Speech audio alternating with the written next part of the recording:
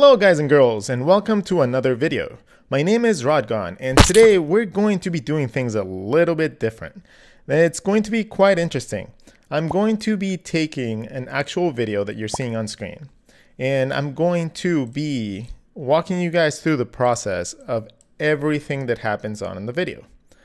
So I'm going to be, you know, just, it's going to be slightly sped up. It's going to be about like a third, like of the, it's going to be sped up times three.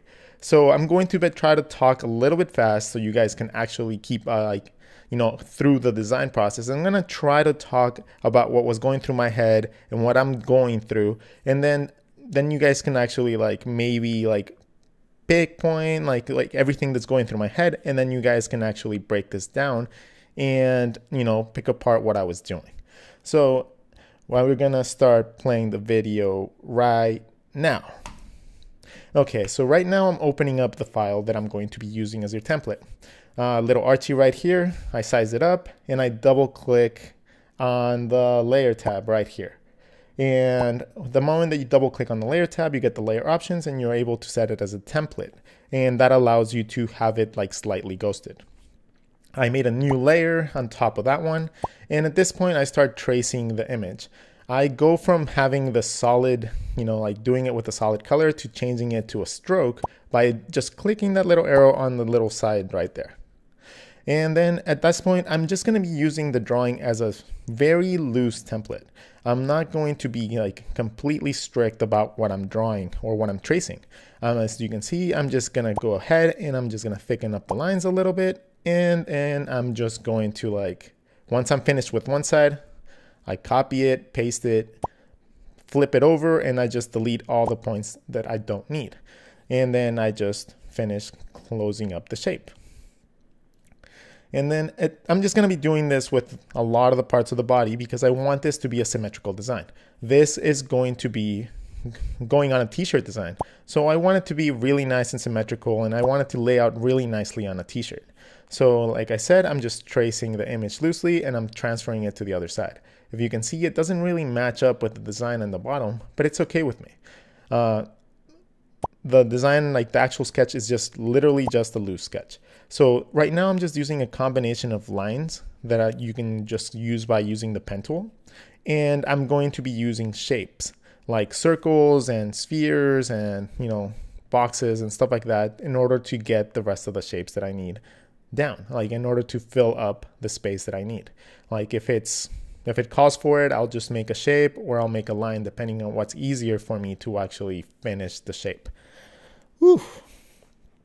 I am not used to talking this fast.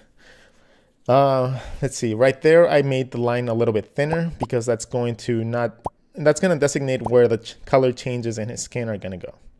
Uh, I take the little toe that I did for the foot and I'm going to use those for the fingers as well. And it keeps the size consistent so it keeps, you know, like a little bit other aspect of symmetry to it. Uh, I also start adding little tiny bouts of like hard shadows in order to bring like the depth. So the head is really big on Archie in this one. So I just make sure that it's like a little bit of a shadow, like a core shadow underneath the head so it starts, you know, looking better. Uh, let's see, what am I? Oh, I'm going into the eye right there. And what you just saw right now, I'm using the width tool. It's a shift, a control W or shift W. It's one of those two. And it allows you to play with the thick and thin lines. So you're gonna see me use that a lot when we start cleaning up the design. So as you can see, I'm doing really simple tracing, literally just using a very rough template of my you know design and then just eliminating everything that I don't need. Uh, whenever I need to make a line, I make the decision of either making the line or just making a shape. And you need to know the difference between those. And if you guys don't, you can look up my Illustrator tutorial, like how to ink an Illustrator. I have several of them. I think I have two or three of them. So you guys can like check them out and I'll put a link to them at the end of this uh, design or I'll try to like link it at the top. Uh, at this point, I made those little circles on the side so I would know exactly how far apart the design, like the eyes had to be from each other. So it would be, again, perfectly symmetrical. And then I'm just filling up the design, just doing the same techniques over and over and over until I actually get exactly what I need. Uh, right there to center the nose perfectly, I selected my, both of the eyes, I grouped them together, and then I centered the nose according to the actual eyes. So it would be right in the middle. Um, let's see, I'm going ahead I'm just like making sure that the design looks nice and clean. I gotta make sure that there's no little open edges between the lines because that's going to help out a lot when we go into coloring and you'll see because it's really simple to do coloring in Illustrator. If you have nice clean line work, it's really, really, really easy to go in and just uh, color in kind of like a cookie cutter design. But you'll see in a little bit. And I'm just going in and adding little details that are missing. Uh, whatever I designates a change of color in the design, I'm using a very, very, very thin line compared to the outline of the actual shape. And that will help with the depth of the actual character. Uh, I'm shifting right there. I shifted the design a little bit so I would have the tail nice and centered. And then I just trace a general idea of the tail. Uh, you'll see that I'm going to go wider on the bottom. Mostly because I want to like I wanted to just give it like a little bit more perspective to it. I think I also changed the like curvature of the actual tail in order to like just make it more like a like a wave. I thought that that looked a little bit better than the actual like just basic swirl that I had before. Woo. okay, my throat is already getting dry. I am so not used to talking fast um, I start changing little tiny things so they don't intersect with each other. Like because I don't like having lines that intersect with each other in the design. I think it creates a lot of tension when it comes down to the actual look of it. So I try to avoid tangents as much as possible. I'm just going in, I'm just drawing Booby, which is really simple character. And I was trying to aim for like a very young look to both of the characters. Um, more so like baby as like baby versions of my actual designs. So you know, I th- I thought uh, they came out really cute. Uh, little tiny details just get added. I think I round off the edges of the actual line right there with the options within the line tool. And again, I'm just adding a slightly thinner line so I can designate where the color changes are gonna go. And that's where the like the little path is, where he's flying. And I believe we are almost done with the actual line work. I know, actually, I'm adding a shadow right there. So I make the circle and I'm just going to erase the part that is getting overlapped by using the Pathfinder tool on the right. And you need to learn how, like, like I said, if you haven't actually seen, and I'm saving right now. If you haven't seen any of my like how to ink in Illustrator videos, go back and watch them. It's like a 20 minute long video. Uh, and I walk you guys through most of the process and it's super simple. Like once, you, and then with that, you're able, like if you're able to use Adobe Illustrator, it opens up a lot of work avenues for you guys because you can start doing t-shirt designs and a lot of different cool stuff. And I think we are getting close to getting to the final parts of the actual design. Uh, I'm going back in and this is where I'm using the width tool that I mentioned before uh, you can select the endpoints of the lines and then just bring them into a, a little point and then if you thicken up the line a little bit past that, you get really nice thick to thin lines really quickly too. So, I mean, it takes a little bit of time to actually get used to it. But once you do, ooh, it takes your drawings from looking like, and it's like from looking just kind of flat to giving it a lot of depth. And yeah, like it saves you a lot of time than uh, than having in and going to make every single point, you know, pointy. Uh, you'll see right there with the little drip, like drool. You know, if I bring it in a little bit, it just makes it so it looks thicker on the bottom and it gives it a little bit of depth. And those little tiny elements make a big difference when it comes down to a design. Uh, every single part that actually intersects goes into a nice little sharp point, like the tail, the you know a little bit thickness to the part the bottom part of the tail every single curvature uh, let's see what else I'm just making sure at that point that the actual design looks good so whatever like is contrasting I make it a little bit thinner I am lining up everything really nice And let's see. Yeah, at this point, I'm just making little tiny elements like the flutter of the wings. Well, let's see. And I just copy and paste whenever I need it. So at this point, I just, I'm going in and doing the little heart at the top, which is, you know, really, really simple. If you just trace it, thicken up the lines, make sure that the curvature is like nice. It doesn't have to be perfect. Um, actually, when the drawings look way too perfect, like way too like per like yeah, when they look too perfect, sometimes it like takes away from the actual like look of it. So that's why I'm not like completely like outrageously like that. Okay, what I'm doing right there. This is very important. Uh, I make a copy of my design, right? And let's pause this for a second. I'm going I'm making the copy of the design and then I just drag it to the side just to have a very like an old reference image of like uh, an old version of that design. And once you have that reference of that design, then if you ever need to go back and edit it, then you have that there. Then what I did with the new design, I selected it all and yeah, I selected it all and then you go to edit or object, expand object. Just so, and then you click that twice and it's going to bring up this menu. What I'm doing after that is I'm just selecting the lines that I'm going to delete and I'm literally using the eraser tool to just erase the parts that are overlapping. Uh, that like that point, I'm just erasing a little bit to make it up to a little point. Uh, adding tiny details that I might have missed, like little tiny core shadows in the ears. Hmm, let's see, what do, what else do I do? Oh, I was gonna give it some thumbs, but I decided that it conflicted a little bit too much with the design. It would clutter it, so I just opted for not having that. At this point, I'm just like choosing where the highlights are gonna be. I'm not necessarily gonna add them yet, but I just wanted to have them like on the side so I can add them later. So I just click on my move them to the side. I'm going to be using the Pathfinder tool to be able to cut out that shape from the nose so it has a little bit of a highlight. I give it a little bit of tooth so he looks a little bit cuter.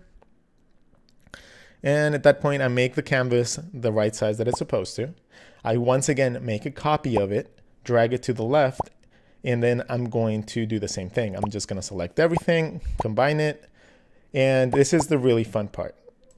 So as you can see, I actually just made a big shape.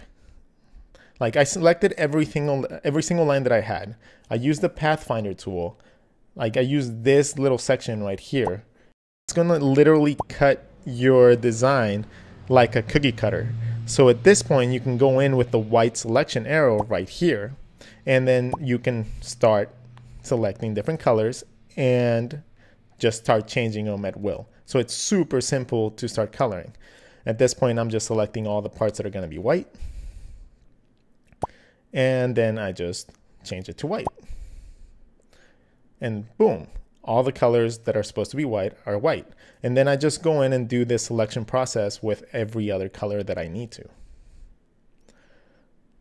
So, you know, everything that's going to be a slightly different color, I'm just going to you know, select it. I'm just going to change it to whatever color I need. That's why you need super clean cut lines and lines that connect. If the lines aren't connecting, it just makes it really, really difficult.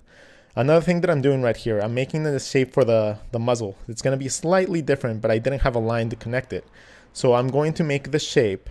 I cut it, I control X, cut it, and then I paste it in front of the actual other shape. By you can select the shape and then click Control F and then paste it in front. So let's see. And then like that's just going to be the process that I, you know, do most of the coloring. In this point, I grab the shapes that I was going to use as highlights, I turn them to white, and I just drag them to wherever they're supposed to be. I adjust them a little bit, you know, make them look cool. I drag them again, I do the same copy and paste in front of the object. So it, you know, just pasting them there, it them right there without like overlapping with the other shapes. Um, to give that effect right there, I just made a copy of those black shapes. I copied and pasted them in front of each other and then I turned them to a light gray and I erased what I didn't need. I'm gonna do the same thing there. I made a white shape on top of the exact same shape and just erased some parts so it looks like it's like little like wetness. Mm, I changed the line work from black to a very, very, very dark pink uh, in order to give it a softer look to the design. Uh, sometimes you can get away without having black, completely black shape, like line work. And it sometimes it looks cooler, especially if it's like, you know, like little baby shapes and it's supposed to be really soft. So I do that with everything that's black that doesn't have to be black. I changed it to a slightly more like lighter color. Whew. And then we're gonna start adding shadows. It's gonna be the same thing. We're gonna make a shape. We're gonna select the shape with the white arrow tool. We're gonna control copy, control F to paste it in front, change it to the color that you want, and then erase what you don't need. So in this case, I'm going to select I believe, okay, we're doing the heart. So I select the heart shape. No, not doing the heart. What am I doing next? What am I doing next? Okay, we're gonna do the shadows and the actual ears. So we make, select the ears, we copy, copy and paste it in front with control F, and then we just erase what we don't need after changing it to a darker color, and then you have your cool shape. Do the same thing with the ears. Copy and paste in front, erase what you don't need. Uh, and then I just go around the whole body doing the same thing. So I just select the shape that I want, change it to I copy and paste it in front, control copy, control F. And then I just go in with the eraser tool, shift E, and then I just erase what I don't need. Like I just literally, I did all this illustration with a mouse. Uh, so you don't really need any fancy tools for like doing stuff like this. Uh, this is the way that I learned how to ink when I didn't have a Cintiq. Because I still really loved having really clean line work, but I didn't have a Cintiq to be able to ink with it. So I used a computer mouse and just these techniques that I learned, that I kind of like learned from other artists or developed on my own. Ooh, so I just go in and do all of the shading in the same way, like just control, like cop, like select the shape, like paste a copy of it in front of it, change it into a darker shape, and erase what you don't need. And then you get left with like the negative, I mean, like the negative shadows there.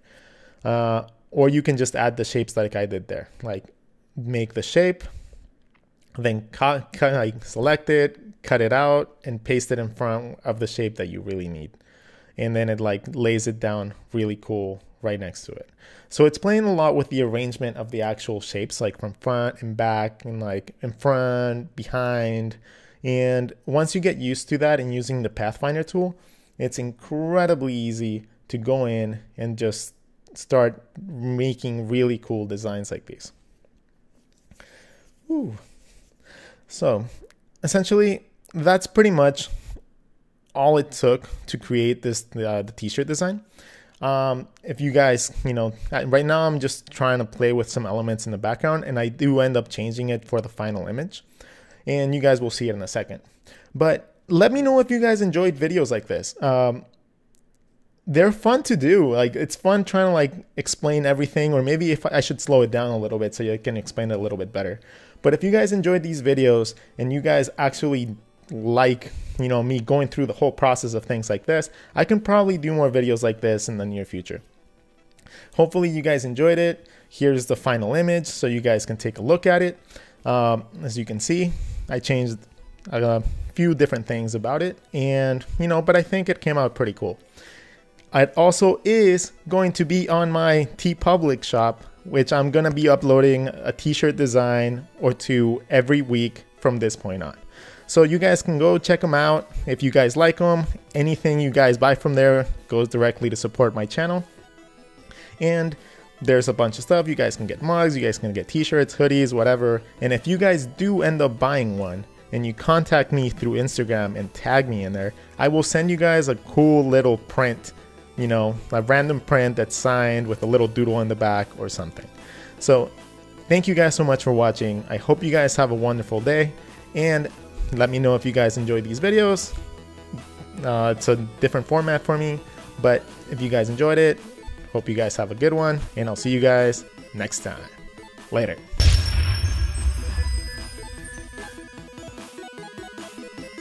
Thank you guys for staying along through the whole video. Let me know if you guys enjoy these kinds of videos more than the others and I'll make sure to make some more like these.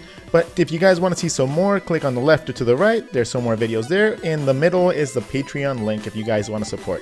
Catch you guys next time.